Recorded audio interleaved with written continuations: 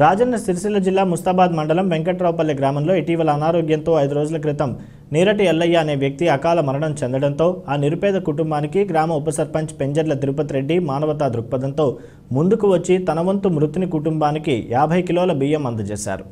గ్రామ సర్పంచ్ అగ్రహారం లక్ష్మణ్ ఈ సందర్భంగా మాట్లాడుతూ నిరుపేద కుటుంబానికి తిరుపతి రెడ్డి యాభై కిలోల బియ్యం ఇవ్వడం అభినందనీయమని వారితో పాటు గ్రామంలో మండలంలో నాయకులు ఎవరైనా ముందుకొచ్చి వారి కుటుంబాన్ని ఆదుకోవాలని ఆర్థిక సాయం అందజేయాలని కోరారు.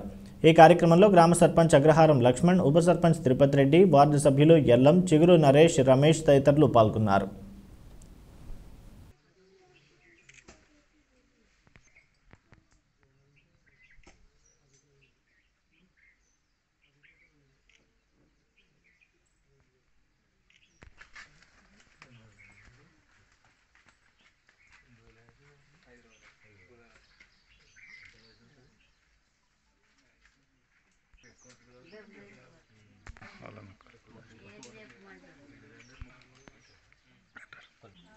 ఐదు రోజుల క్రితం వెంకటపల్లి గ్రామంలో నిరుపేద కుటుంబమైన నీరటి ఎల్లయ్య గంగవ్వ ఎల్లయ్య చనిపోవడం జరిగింది.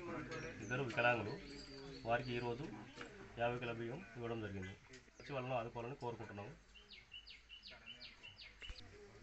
ఈరోజు మా గ్రామంలో నీరటి ఎల్లయ్య గంగవ్వ అనే దంపతుల నీరటి మరణించడం ఈ రోజుకు ఐదు రోజులు అవుతుంది చాలా బాధాకరమైన విషయం. వారు చాలా నిరుపేద కుటుంబము. నిరుపేద కుటుంబాన్ని ఆదుకోవడానికి యువకులు కానీ యూత్ తరఫున కానీ మా గ్రామంలో ఎవరైనా సరే తగిన సహాయం చేయాలని ఈరోజు మన ఉప సర్పంచ్ గారు తన వంతు సహాయంగా యాభై కిలోల బియ్యం ఇవ్వడం జరిగింది. దాన్ని నేను హర్షిస్తున్నాను. అదేవిధంగా ఎవరు మానవత్వం చూపించుకున్నా కానీ ఇచ్చి వాళ్ళ కుటుంబాన్ని ఆదుకోవాలని మనస్ఫూర్తిగా కోరుకుంటున్నాను.